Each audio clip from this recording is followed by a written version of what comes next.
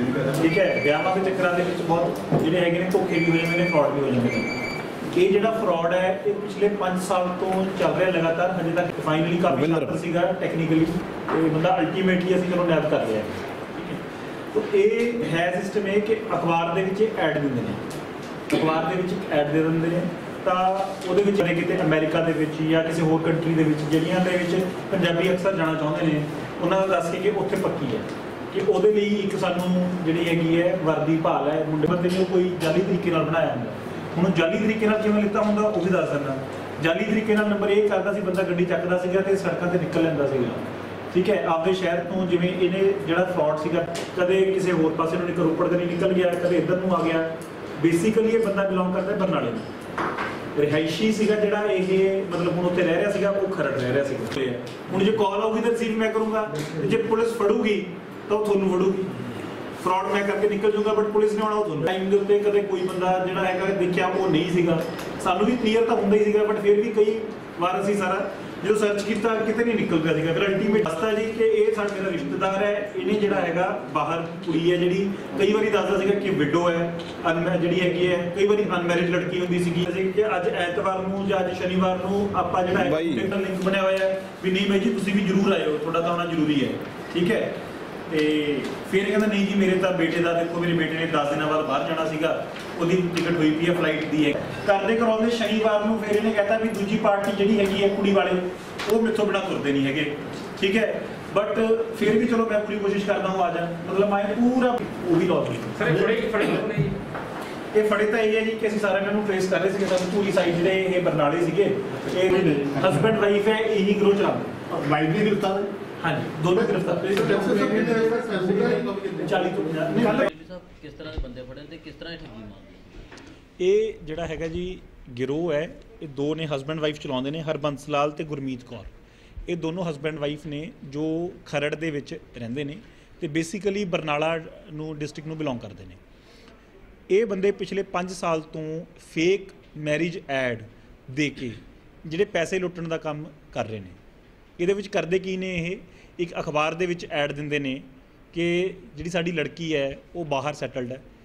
ਕੋਈ ਕਹਿੰਦਾ ਹੈ, ਕਦੇ ਇਹਨਾਂ ਨੇ ਐਡ ਦਿੱਤੀ ਹੈ ਯੂ ਯੂਐਸ ਦੇ ਵਿੱਚ ਸੈਟਲਡ ਹੈ, ਕਦੇ ਕਹਿੰਦੇ ਕੈਨੇਡਾ ਦੇ ਵਿੱਚ ਸੈਟਲਡ ਹੈ, ਕਦੇ ਕਿਸੇ ਹੋਰ ਕੰਟਰੀ ਦਾ ਨਾਮ, ਜਿੱਥੇ ਜਿਨ੍ਹਾਂ ਕੰਟਰੀਜ਼ ਦੇ ਵਿੱਚ ਪੰਜਾਬੀ ਆਮ ਤੌਰ ਤੇ ਆਈਲੈਟਸ ਕਰਕੇ ਜਾਣਾ ਪਸੰਦ ਕਰਦੇ ਨੇ। ਤਾਂ ਉਸ ਚੀਜ਼ ਨੂੰ, ਉਸ ਮਾਨਸਿਕਤਾ ਨੂੰ ਹਿੱਟ ਕਰਦੇ ਹੋਏ ਇਹ ਅਖਬਾਰ ਦੇ ਵਿੱਚ ਉਹ ਐਡ ਦਿੰਦੇ ਨੇ ਕਿ ਸਾਡੀ ਕੁੜੀ ਉੱਥੇ ਪੱਕੀ ਹੈ। ਤਾਂ ਉਸ ਚੱਕਰ ਦੇ ਵਿੱਚ ਕਦੇ ਤਾਂ ਅਨਮੈਰਿਡ ਦੱਸਦੇ ਨੇ ਲੜਕੀ ਨੂੰ, ਕਦੇ ਕਿਸੇ ਐਡ ਦੇ ਵਿੱਚ ਇਹ ਜਿਹੜਾ ਦੱਸਦੇ ਨੇ ਕਿ ਉਹ ਵਿਡੋ ਹੈ। ਤਾਂ ਉਸ ਪੁਆਇੰਟ ਤੋਂ ਉਹਦੇ ਵਿੱਚ ਇੱਕ ਫੇਕ ਨੰਬਰ ਜਿਹੜਾ ਹੈਗਾ ਐਡ ਦੇ ਵਿੱਚ ਦੇ ਦਿੰਦੇ ਸੀਗੇ। ਉਸ ਤੋਂ ਬਾਅਦ ਜਿਹੜਾ ਵੀ ਬੰਦਾ ਇੰਟਰਸਟਿਡ ਹੁੰਦਾ ਸੀਗਾ, ਉਹ ਇਹਨਾਂ ਨੂੰ ਕਾਲ ਕਰਦਾ। ਕਾਲ ਕਰਨ ਤੋਂ ਬਾਅਦ ਇਹ ਉਸ ਬੰਦੇ ਨਾਲ ਸਾਰੀ ਗੱਲਬਾਤ ਕਰਦੇ। ਗੱਲਬਾਤ ਕਰਕੇ ਉਹਨੂੰ ਸਾਰਾ ਕਰਕੇ ਆਪਦੇ ਭਰੋਸੇ ਦੇ ਵਿੱਚ ਪੂਰਾ ਕੌਨਫੀਡੈਂਸ 'ਚ ਲੈ ਕੇ ਇਹ ਰਿਸ਼ਤੇਦਾਰ ਬਣਦੇ ਸੀ ਐਜ਼ ਅ ਵਿਚੋਲੇ ਬਣਦੇ ਸੀਗੇ ਕਿ ਮੇਰੀ ਭਾਣਜੀ ਹੈ ਜਾਂ ਮੇਰੀ ਭਤੀਜੀ ਹੈ ਜਾਂ ਉਸ ਤਰੀਕੇ ਦੇ ਨਾਲ। ਫਿਰ ਗੱਲਾਂ ਦੇ ਵਿੱਚ ਲਾ ਕੇ ਬੰਦੇ ਨਾਲ ਫਿਰ ਉਸ ਤੇ ਇੱਕ ਟਾਈਮ ਫਿਕਸ ਕਰ ਲੈਂਦੇ ਸੀਗੇ ਕਿ ਮੰਨ ਲਓ ਆਪਾਂ ਸੰਡੇ ਦੇ ਦਿਨ ਜਿਹੜਾ ਹੈਗਾ ਇਹ ਆਪਾਂ ਰੱਖਦੇ ਹਾਂ, ਆਪਾਂ ਪਰਿਵਾਰ ਆਪਸ ਦੇ ਵਿੱਚ ਮਿਲਦੇ ਹਾਂ। ਇੱਕ ਦਿਨ ਤੈਅ ਹੋ ਗਿਆ। ਤੈਅ ਹੋਣ ਤੋਂ 2-3 ਦਿਨ ਪਹਿਲਾਂ ਇਹ ਫਿਰ ਕਹਾਣੀ ਸਿਰਜਣੀ ਸ਼ੁਰੂ ਕਰ ਦਿੰਦੇ ਸੀਗੇ ਕਿ ਮੇਰਾ ਖੁਦ ਦਾ ਬੇਟਾ, ਜਿਹੜਾ ਮਤਲਬ ਇਹ ਵਿਚੋਲਾ ਹੁੰਦਾ ਸੀਗਾ ਹਰਬੰਸ ਲਾਲ। ਇਹ ਕਹਿੰਦਾ ਸੀਗਾ ਕਿ ਮੇਰਾ ਬੇਟਾ ਜਿਹੜਾ ਹੈਗਾ, ਉਹਦੀ ਵੀ ਬਾਹਰ ਦਾ ਜਿਹੜਾ ਬਣਿਆ ਹੋਇਆ ਪ੍ਰੋਗਰਾਮ 10 ਦਿਨਾਂ ਬਾਅਦ ਉਹਦੀ ਫਲਾਈਟ ਹੈ। ਬੜੇ ਔਖੇ ਅਸੀਂ ਹੋ ਕੇ ਉਹਨੂੰ ਵੀ ਬਾਹਰ ਤੋਰ ਰਹੇ ਹਾਂ। ਵੀਰ ਜੀ, ਉਹਨੇ ਜਾਣਾ ਹੈ, ਠੀਕ ਹੈ? ਤੇ ਜਿੱਦਣ ਮਿਲਣ ਦੀ ਡੇਟ ਹੁੰਦੀ ਸੀਗੀ, ਜਿਸ ਤਰ੍ਹਾਂ ਐਤਵਾਰ ਨੂੰ ਮਿਲਣਾ ਹੈ, ਤਾਂ ਵੀਰਵਾਰ ਜਾਂ ਸ਼ੁੱਕਰਵਾਰ ਤੋਂ ਇਹ ਕਹਾਣੀ ਬਿਲਡ ਕਰਨੀ ਸ਼ੁਰੂ ਕਰ ਦਿੰਦੇ ਸੀਗੇ ਕਿ ਜੀ, ਜਿਹੜਾ ਮੁੰਡਾ ਹੈ, ਬੱਚੇ ਸਾਡੇ ਹੱਥੋਂ ਨਿਕਲ ਗਏ ਜੀ, ਉਹ ਆਪਦੇ ਚਾਰ ਦੋਸਤਾਂ ਨਾਲ ਰਲ ਕੇ ਉਹਨੇ ਕਿਸੇ ਨਾਲ ਲੜਾਈ ਕਰ ਲਈ। ਤੇ ਉਹਨਾਂ ਦੀ ਗੱਡੀ ਭੰਨਤੀ ਜਾਂ ਉੱਥੇ ਕਿਸੇ ਦੀ ਇਹ ਹੋ ਗਿਆ। ਹੁਣ ਮੈਂ ਤਾਂ ਉਸ ਮਸਲੇ ਨੂੰ ਹੱਲ ਕਰਾਉਣ ਦੇ ਚੱਕਰ 'ਚ ਪਿਆ ਵੀ ਹੁਣ ਪਹਿਲਾਂ ਤਾਂ ਪੈਸੇ ਲਾ ਕੇ ਉਹਨੂੰ ਬਾਹਰ ਤੋਰ ਰਹੇ ਸੀਗੇ ਤੇ ਇਹ ਕਿਤੇ ਹੋਰ ਫਸਲੇ ਉਲਝ ਗਿਆ। ਇਹੋ ਜਿਹੀਆਂ ਗੱਲਾਂ ਸੁਣਾ ਕੇ, ਉਸ ਬੰਦੇ ਨੂੰ ਕੌਨਫੀਡੈਂਸ 'ਚ ਲੈ ਕੇ, ਫਿਰ ਉਹਨੂੰ ਕਹਿੰਦੇ ਕਿ ਮੇਰਾ ਜਿਹੜਾ ਹੈਗਾ ਮੈਂ ਦੂਜੀ ਪਾਰਟੀ ਦੇ ਨਾਲ ਉਹਨਾਂ ਨਾਲ ਗੱਲਬਾਤ ਹੋ ਗਈ, ਉਹਨਾਂ ਦੀ ਗੱਡੀ ਠੀਕ ਕਰਾ ਦੇਣੀ ਹੈ, ਆਹ ਕਰ ਦੇਣੀ ਹੈ, ਰਾਜੀਨਾਮਾ ਹੋ ਗਿਆ, ਪਰ ਰਾਜੀਨਾਮੇ ਦੇ ਲਈ ਸਾਨੂੰ 8-10 ਲੱਖ ਰੁਪਏ ਦੇਣਾ ਪੈਣਾ ਹੈ। ਗੱਡੀ ਮਹਿੰਗੀ ਸੀਗੀ 30 ਲੱਖ 40 ਲੱਖ ਦੀ ਗੱਡੀ ਸੀ ਫੋਰਚੂਨਰ ਸੀ ਜਾਂ ਇਹ ਗੱਡੀ ਸੀਗੀ, ਇਹੋ ਜਿਹੀਆਂ ਕਹਾਣੀਆਂ ਸਿਰ 'ਚ ਕੇ। ਫਿਰ ਉਸ ਤੋਂ ਬਾਅਦ ਉਹਨੂੰ ਦੱਸ ਦੱਸਦੇ ਵੀ ਮੈਂ ਇੰਨੇ ਪੈਸਿਆਂ ਦਾ ਪ੍ਰਬੰਧ ਕਰ ਲਿਆ, ਪਰ ਜੀ ਮੇਰੇ ਇੰਨੇ ਕੁ ਪੈਸੇ ਰਹਿ ਗਏ। ਠੀਕ ਹੈ, ਮੇਰਾ ਕੋਈ 2 ਲੱਖ ਰਹਿ ਗਿਆ ਜਾਂ 3 ਲੱਖ ਰੁਪਏ ਮੇਰਾ ਘਟਦਾ ਹੈ ਹਜੇ। ਵੀ ਜੇ ਤੁਸੀਂ ਮੇਰੀ ਮਦਦ ਕਰ ਦੋ, ਕਿਉਂਕਿ ਮੈਂ ਤਾਂ ਹੁਣ ਇਧਰਲੇ ਪਾਸੇ ਉਲਝਿਆ ਹੋਇਆ ਵੀ ਮੈਂ ਤੁਹਾਡੇ ਕੋਲੇ ਵਿਆਹ ਦੇ ਸਿਲਸਿਲੇ ਦੇ ਵਿੱਚ ਜਿਹੜੀ ਪਰਿਵਾਰ ਹੈ, ਉਹਨਾਂ ਦੇ ਨਾਲ ਤੁਹਾਡੇ ਘਰ ਨਹੀਂ ਆ ਪਾਊਂਗਾ ਦੂਸਰੇ ਪਰਿਵਾਰ ਨੂੰ ਇਹ ਵੀ ਗੱਲ ਇਹਨੇ ਗੱਲਾਂ ਗੱਲਾਂ ਜਚਾ ਦੇਣੀ ਵੀ ਮੇਰੇ ਬਿਨਾ ਦੂਜੀ ਪਾਰਟੀ ਨੂੰ ਵੀ ਭਰੋਸਾ ਤਾਂ ਤੁਹਾਡੇ ਤੇ ਵੀ ਕਰਨਾ ਔਖਾ ਹੈ। ਠੀਕ ਹੈ, ਤਾਂ ਬਟ ਇਹ ਹੈ ਕਿ ਵੀ ਮੇਰੀ ਮਜਬੂਰੀ ਹੈ, ਪਰ ਮੈਂ ਕਹੂੰਗਾ ਜ਼ਰੂਰ। ਇਸ ਤਰੀਕੇ ਨਾਲ ਪੂਰੀਆਂ ਗੱਲਾਂ ਦੇ ਵਿੱਚ ਲੈ ਕੇ ਉਸ ਪਰਿਵਾਰ ਨੂੰ ਇਹ ਸਮਝਾ ਦੇਣਾ ਕਿ ਜੇ ਮੈਂ ਨਾ ਆਇਆ ਐਤਵਾਰ ਨੂੰ, ਤੇ ਫਿਰ ਤੁਹਾਡਾ ਕੈਨੇਡਾ ਦਾ, ਤੁਹਾਡਾ ਅਮਰੀਕਾ ਦਾ ਇਹ ਸੁਪਨਾ ਤਾਂ ਗਿਆ, ਕਿਉਂਕਿ ਇਹ ਕੁੜੀ ਦੇ ਨਾਲ ਫਿਰ ਵਿਆਹ ਔਖਾ ਹੀ ਹੋਣਾ। ਠੀਕ ਹੈ, ਤਾਂ ਇਸ ਇਸ ਤਰੀਕੇ ਦੇ ਨਾਲ ਇਹ ਗੱਲਾਂ ਸਿਰਜ ਕੇ ਹੁਣ ਜੇ ਇਹ 10 ਬੰਦਿਆਂ ਨੂੰ ਕਾਲ ਕਰਦਾ ਸੀਗਾ, ਤਾਂ ਉਹਦੇ ਵਿੱਚੋਂ ਕੋਈ ਇੱਕ ਅੱਧਾ ਜਿਹੜਾ ਪਰਿਵਾਰ ਸੀਗਾ, ਇੱਕ ਜਾਂ ਦੋ ਪਰਿਵਾਰ ਉਹ ਗੱਲ ਦੇ, ਗੱਲਾਂ 'ਚ ਆ ਜਾਂਦੇ ਸੀਗੇ। ਇਨੀਸ਼ੀਅਲੀ ਇਹਨੇ ਜਿਹੜੀ ਸੀਗੀ, ਇਹ ਠੱਗੀਆਂ ਅੱਜ ਤੋਂ 5 ਸਾਲ ਪਹਿਲਾਂ ਜਦੋਂ ਸ਼ੁਰੂ ਕੀਤੀਆਂ ਸੀਗੀਆਂ, ਉਦੋਂ ਤਾਂ 5-10 ਹਜ਼ਾਰ ਜਿਹੜਾ ਹੈਗਾ ਉਹ ਲੈਂਦਾ ਸੀਗਾ। ਇਹ ਇੰਨਾ ਕੁ ਦੱਸ ਦਿੰਦਾ। ਐਨੇ ਕੁ ਦੇ ਵਿੱਚ ਬੰਦਾ ਪਾ ਵੀ ਦਿੰਦਾ ਤੇ ਬਾਅਦ ਦੇ ਵਿੱਚ ਰਿਪੋਰਟ ਵੀ ਨਹੀਂ ਕਰਦਾ ਨਾਰਮਲੀ ਪੁਲਿਸ ਨੂੰ। ਫਿਰ ਇਹਨੇ ਦੇਖਿਆ ਕਿ ਇਹ ਚੀਜ਼ਾਂ ਜਦੋਂ ਹੋ ਸਕਦੀਆਂ ਨੇ ਤੇ ਇਹ ਵੱਧਦਾ ਗਿਆ। ਹੁਣ ਇਹ ਲੱਖਾਂ ਦੇ ਵਿੱਚ ਆ ਕੇ ਪੈਸੇ ਮੰਗਣੇ ਸ਼ੁਰੂ ਕਰਤੇ ਸੀ ਇਹਨਾਂ ਨੇ। ਕੋਈ ਵੀ ਇਹਨੂੰ ਕੋਈ ਨਾ ਕੋਈ ਬੰਦਾ ਇਹਨੂੰ ਕੋਈ ਨਾ ਕੋਈ ਗੱਲਾਂ ਦੇ ਵਿੱਚ ਆ ਕੇ ਪੈਸੇ ਪਵਾ ਦਿੰਦਾ ਸੀਗਾ। ਜਦੋਂ ਇੱਕ ਵਾਰ ਪੈਸੇ ਆ ਗਏ, ਉਸੇ ਟਾਈਮ ਹੀ ਜਿਹੜਾ ਆਪਦਾ ਫੇਕ ਫੋਨ ਨੰਬਰ ਹੁੰਦਾ ਸੀਗਾ, ਉਹਨੂੰ ਸਵਿਚ ਆਫ ਕਰਕੇ ਛੱਡ ਦਿੰਦਾ ਸੀਗਾ। ਤੇ ਜਿਹੜਾ ਦੂਸਰਾ ਸਿਸਟਮ ਹੁੰਦਾ ਸੀਗਾ ਬੈਂਕ ਚੋਂ ਨਾਲ ਦੀ ਨਾਲ ਹੀ ਕੈਸ਼ ਵਿਡਰਾਅ ਕਰਾ ਕੇ ਬੈਂਕ ਖਾਤਾ ਵੀ ਜਾਲੀ ਬੰਦਿਆਂ ਦੇ ਨਾਮ ਦੇ ਉੱਤੇ ਨੇ ਬਣਾਏ ਹੁੰਦੇ ਸੀਗੇ। ਉਹ ਵੀ ਇਹ ਜਿਹੜੇ ਕਿਸੇ ਤੋਂ ਫੇਕ ਆਇਡੈਂਟੀਟੀ ਪ੍ਰੂਫ ਕਿਸੇ ਲੇਬਰਰ ਤੋਂ ਕੋਈ ਵੀ ਤੇਰਾ ਲੋਨ ਕਰਾ ਦੂੰਗਾ ਜਾਂ ਇਹ ਕਰ ਦੂੰਗਾ, ਇਹ ਗੱਲਾਂ ਦੇ ਵਿੱਚ ਲਾ ਕੇ ਉਹਨਾਂ ਤੋਂ ਪ੍ਰੂਫ ਲੈ ਕੇ ਉਹਨਾਂ ਦੇ ਬੈਂਕ ਖਾਤੇ ਖੁਲਵਾ ਲੈਂਦਾ ਸੀਗਾ ਤੇ ਇਸੇ ਤਰੀਕੇ ਦੇ ਨਾਲ ਉਹਨਾਂ ਦਾ ਇੱਕ ਫੋਨ ਨੰਬਰ ਲੈ ਲੈਂਦਾ ਸੀਗਾ। ਫਿਰ ਇੱਕ ਏਜੰਟ ਦੇ ਤੌਰ ਦੇ ਉੱਤੇ ਵੀ ਮੈਨੂੰ ਤੁਸੀਂ ਸਾਰਾ ਰਿਕਾਰਡ ਦਿਓ ਬੈਂਕ ਦੀ ਆਪਣਾ ਏਟੀਐਮ ਕਾਰਡ ਦੇ ਦਿਓ ਇਹ ਦੇ ਦਿਓ। ਲੇਬਰਰ ਕਲਾਸ ਜਿਹੜੀ ਆਪਣੀ ਪ੍ਰਵਾਸੀ ਮਜ਼ਦੂਰ ਜਿਹੜੇ ਆਉਂਦੇ ਨੇ ਉਹਨਾਂ ਤੋਂ ਉਹ ਲੈ ਕੇ ਆਪਣੇ ਕੋਲੇ ਰੱਖ ਲੈਂਦਾ ਸੀਗਾ। ਇਹ ਲੈ ਕੇ ਇਹ ਆਪਣੇ ਕੋਲੇ ਜਿਹੜਾ ਰੱਖ ਕੇ ਉਹਨਾਂ ਅਕਾਊਂਟਸ ਦੇ ਵਿੱਚ ਹੀ ਪੈਸੇ ਪਵਾਉਂਦਾ ਸੀਗਾ। ਉਹਨਾਂ ਦੇ ਮੋਬਾਈਲ ਨੰਬਰਸ ਤੋਂ ਹੀ ਇਹ ਫੇਕ ਜਿਹੜੀ ਫਰਾਡ ਦੀਆਂ ਕਾਲਸ ਕਰਦਾ ਸੀ। ਹੁਣ ਤੱਕ ਕਿੰਨੇ ਕ ਠੱਗੀਆਂ ਕਰ ਚੁੱਕੇ ਤੇ ਕਿੰਨੇ ਅਮਾਉਂਟ ਦੀ ਕਰ ਚੁੱਕੇ ਹੁਣ ਤੱਕ ਜੀ ਜਿੰਨਾ ਸਾਡੇ ਕੋਲੇ ਸਰਫੇਸ ਹੋਇਆ ਹਜੇ ਤੱਕ ਸਾਡੇ ਕੋਲੇ 12 ਅਕਾਊਂਟ ਆਏ ਨੇ। ਇਹਦੇ 12 ਜਿਹੜੇ ਬੈਂਕ ਅਕਾਊਂਟਸ ਨੇ ਉਹਨਾਂ ਨੂੰ ਦੇਖਣ ਤੋਂ ਬਾਅਦ ਸਾਡੇ ਸਾਹਮਣੇ ਇਹ ਚੀਜ਼ ਆਈ ਹੈ ਕਿ 50 ਲੱਖ ਦੇ ਕਰੀਬ 40 ਤੋਂ 50 ਲੱਖ ਦੇ ਕਰੀਬ ਜਿਹੜੀ ਹੈਗੀ ਹੈ, ਇਹ ਠੱਗੀ ਜਿਹੜੀ ਹੈਗੀ ਹੈ, ਇਹਨੇ ਮਾਰੀ ਹੈ। ਤੇ ਉਹਨਾਂ ਦੇ ਵਿੱਚ 50 ਦੇ ਕਰੀਬ ਜਿਹੜੇ ਹੈਗੇ ਨੇ, ਉਹ ਕੰਪਲੇਨੈਂਟ ਨੇ ਜਿਹੜੇ ਜਿਹੜੇ ਵਿਕਟਿਮ ਨੇ ਇਹਦੇ, ਉਹ ਸਾਹਮਣੇ ਆਏ ਨੇ ਕਿ 50 ਬੰਦਿਆਂ ਨੂੰ ਇਹਨੇ ਸ਼ਿਕਾਰ ਕੀਤਾ ਹੈ, ਹਜੇ ਤੱਕ ਤਕਰੀਬਨ। ਤੇ ਉਹਨਾਂ ਦੇ ਨਾਲ 40 ਤੋਂ 50 ਲੱਖ ਦੀ ਠੱਗੀ ਮਾਰੀ।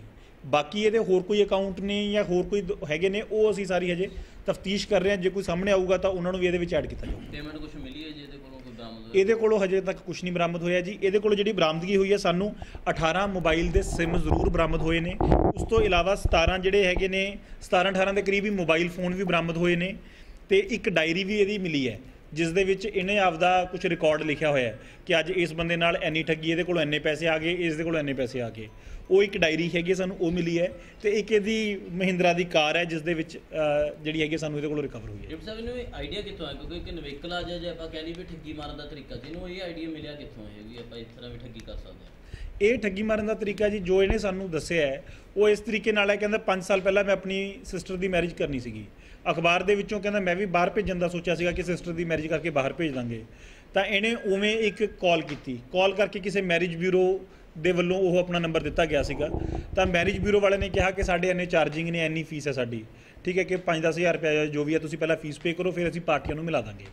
ਤਾਂ ਇਹਨੇ ਉਸ ਤੋਂ ਆਈਡੀਆ ਕੈਚ ਕੀਤਾ ਕਿ ਜੇ ਇਸ ਤਰੀਕੇ ਦੇ ਨਾਲ ਪੈਸੇ ਬਣ ਸਕਦੇ ਨੇ ਤਾਂ ਮੈਂ ਕਿਉਂ ਨਾ ਏਜੰਟ ਬਣ ਜਾ। ਇਨੀਸ਼ੀਅਲੀ ਇਹਨੇ ਏਜੰਟ ਬਣ ਕੇ ਫਿਰ ਇਸ ਤਰੀਕੇ ਦੇ ਨਾਲ ਹੌਲੀ-ਹੌਲੀ ਜਦੋਂ ਲੋਕਾਂ ਕੋਲੋਂ ਪੈਸੇ ਪੈਂਦੇ ਗਏ ਤਾਂ ਇਹਦਾ ਹੌਸਲਾ ਵੱਧਦਾ ਗਿਆ।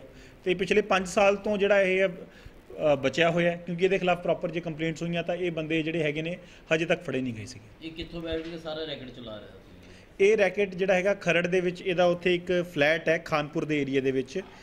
ਜੀਬੀਏਐਮ ਗ੍ਰੇਸ਼ੀਆ ਉੱਥੇ ਟਾਵਰਸ ਦੇ ਵਿੱਚ ਇਹਦਾ ਫਲੈਟ ਹੈ ਉੱਥੇ ਇਹ ਰਹਿੰਦਾ ਸੀਗਾ ਉੱਥੋਂ ਇਹ ਸਾਰਾ ਨੈਟਵਰਕ ਜਿਹੜਾ ਹੈਗਾ ਬੈਠ ਕੇ ਇਹ ਤੇ ਇਹਦੀ ਵਾਈਫ ਕਦੇ ਇਹਦੀ ਵਾਈਫ ਵੀ ਕਾਲ ਦੇ ਉੱਤੇ ਗੱਲ ਕਰਦੀ ਸੀਗੀ ਤੇ ਕਦੇ ਇਹ ਕਰਦਾ ਸੀਗਾ ਉਹ ਨੈਟਵਰਕ ਚਲਾ ਰਹੇ ਸੀਗੇ। ਬੜਾ ਫਿਰ ਛਾਤਰ ਦਿਮਾਗ ਸੀਗਾ ਜੀ ਇੱਥੇ ਸਾਹਿਬ ਐਂ ਤਾਂ ਮੰਨਣਾ ਪਊਗਾ ਹਾਂਜੀ ਕਾਫੀ ਟਾਈਮ ਤੋਂ ਅਸੀਂ ਇਹਦੇ ਮਗਰ ਸਾਈਬਰ ਦੀ ਟੀਮ ਸਾਡੀ ਲੱਗੀ ਹੋਈ ਸੀਗੀ ਤੇ ਫਾਈਨਲੀ ਇਸ ਹੋਇਆ ਤੋਂ ਸਿਵਾਏ ਹੋਰ ਕੋਈ ਇਹਨਾਂ ਨਾਲ ਹੈਗਾ ਸੀ ਜਾਂ ਦੋਨੋਂ ਮੀਆਂ ਵੀ ਸੀ? ਇਹ ਦੋਨੋਂ ਹੀ ਨੇ ਜੀ ਦੋਨੋਂ ਹੀ ਰੈਕਟ ਚਲਾਉਂਦੇ ਸੀਗੇ। ਬੈਕਗ੍ਰਾਉਂਡ ਕੀ ਹੈ ਜੀ? ਕੋਈ ਪਹਿਲਾਂ ਵੀ ਕ੍ਰਿਮੀਨਲ ਰਿਕਾਰਡ ਹੈਗਾ ਜਾਂ ਕਿਸ ਤਰ੍ਹਾਂ ਕੀ ਹੈ ਜੀ? ਇਹਨਾਂ ਦਾ ਕੋਈ ਕ੍ਰਿਮੀਨਲ ਰਿਕਾਰਡ ਐ ਸੱਚ ਨਹੀਂ ਪਾਇਆ ਗਿਆ। ਇਹਨਾਂ ਦੇ ਪਰਿਵਾਰਿਕ ਮੈਂਬਰਾਂ ਦੇ ਉੱਤੇ ਜ਼ਰੂਰ ਸਾਨੂੰ ਪਤਾ ਲੱਗਿਆ।